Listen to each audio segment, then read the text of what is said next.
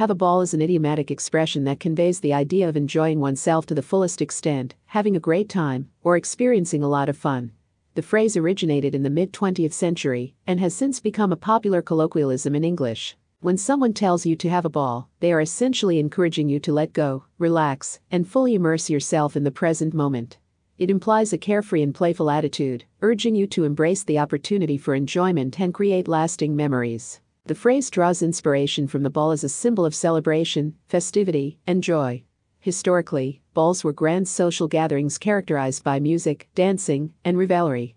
Attending a ball was an occasion to dress up, mingle with others, and partake in lively entertainment. Thus, when someone tells you to have a ball, they are metaphorically inviting you to engage in a similar spirit of merriment and pleasure. Having a ball can manifest in various forms, depending on the context.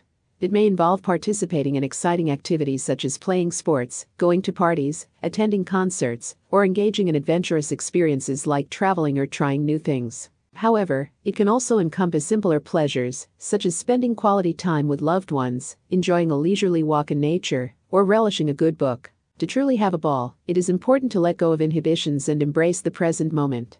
This entails setting aside worries, stress, and distractions, allowing yourself to be fully present and open to the experience. It involves immersing yourself in the activity or social setting, engaging with enthusiasm, and letting the positive energy and enjoyment flow. Having a ball is not limited to specific occasions or locations. It can occur during festive celebrations like birthdays, holidays, or weddings, but it can also be found in everyday situations.